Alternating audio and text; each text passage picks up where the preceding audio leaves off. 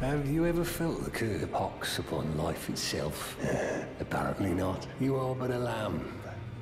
You no longer. I've been long without that. No. You have felt I can smell it on. Apparently my seedbed was a brief respite. Go and unshackle trapped in the sewer Gaol below the capital. I can kill you, then the pox will